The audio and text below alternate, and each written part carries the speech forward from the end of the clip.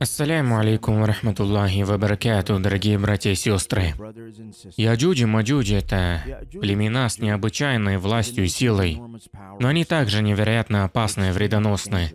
Они разрушат стену Зулькарнайна и выйдут наружу.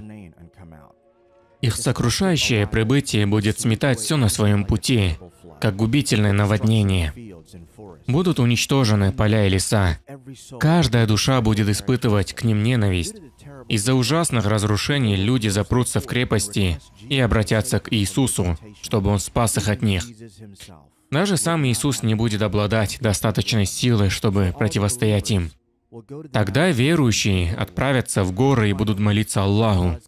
В конце концов, по приказу Аллаха, странная болезнь появится на шеях притеснителей в форме червей, что приведет к незамедлительной гибели целого народа Яджудж-Маджудж. История Яджудж-Маджудж. Зулькарнайн был правдивым королем, который пересекал местность, расположенную между двух гор. Люди, жившие там, рассказали ему, что Яджудж-Маджудж вторглись в их земли с другой стороны этих гор и убили их людей. Они попросили у него помощи. Зулькарнайн построил могучую стену железа и меди безвозмездно, чтобы защитить людей от атак племен Яджудж-Маджудж. Впоследствии эта стена стала называться как стена Зулькарнайна или стена Яджуджи-Маджудж. Все эти детали проводятся в Коране. قال يا ذو القرنين إن يأجوج ومأجوج مفسدون في الأرض فهل نجعل لك خرجا على أن تجعل بيننا وبينهم سدا Что означает, они сказали, о Зулькарнайн, Яджуджи Маджудж распространяет на земле нечестие.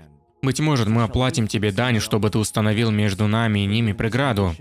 Он, Зулькарнайн, сказал, «То, чем наделил меня Господь, лучше этого. Помогите мне силой, и я установлю между вами и ними преграду.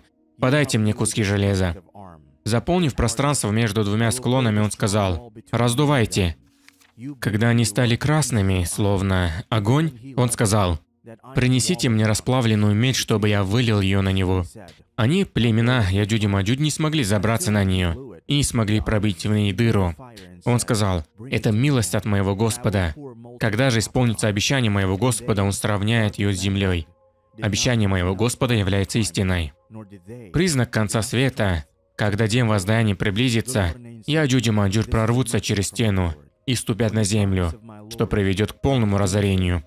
Разрушение стены и повторное появление армии Яджудж и Маджудж являются признаками конца времен, что упоминается в Коране и других ниспосланных книгах. Пока Яджудж и Маджудж не будут выпущены и не устремятся вниз с каждой возвышенности.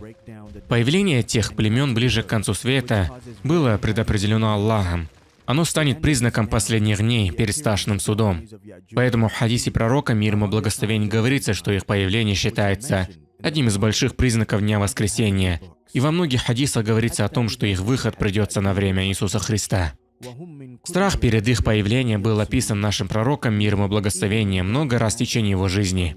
Передается от Зайна бин Джахш, что пророк мир ему благословения однажды пришел к ней напуганный и сказал, «Нет Бога достойного поклонения, кроме Аллаха. Горе арабам от зла, который уже близко. Сегодня в стене Яджудж и Маджудж было проделано вот такое отверстие, и он соединил большой указательный пальцы в виде круга. Зайнаб бинт Джахш сказала, «Я спросила, о посланник Аллаха, так неужели погибнем и мы, несмотря на то, что среди нас будут праведники?» Он сказал, «Да, если пороки умножатся». Разрушение по причине племен Яджудж и Маджудж. Они выпьют всю морскую воду. До их прибытия на земле спустится Иисус, что является одним из признаков приближения Дня Воскресения.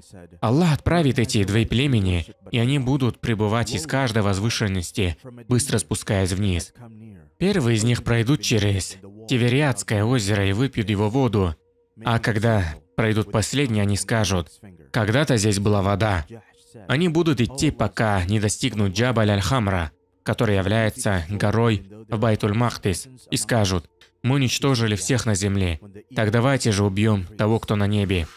Сказав это, они метнут копье в небо, которое по воле Аллаха вернется окровавленным.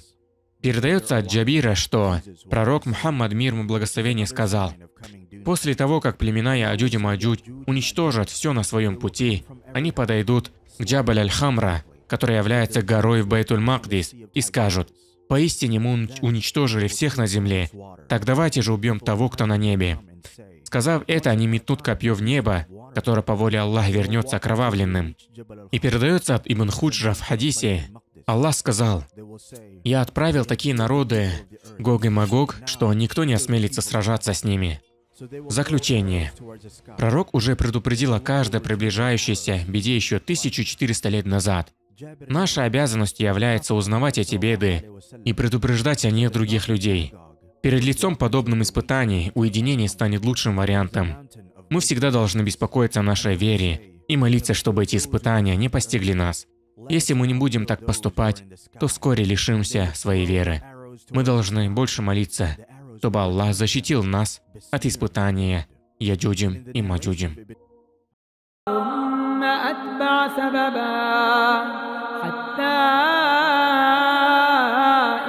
بلغ بين السدين وجد من دونهما قوما لا يكادون يفقهون قولا قالوا يا ذا القرنين إن يأجوج ومأجوج مفسدون في الأرض فهل نجعل لك خرجا فهل نجعل لك خرجا على أن تجعل بيننا وبينهم سدا؟ قال ما مكني فيه ربي خير فأعينوني بقوة أجعل بينكم. فأعينوني بقوة أجعل بينكم وبينهم ردما آتوني زبر الحديد.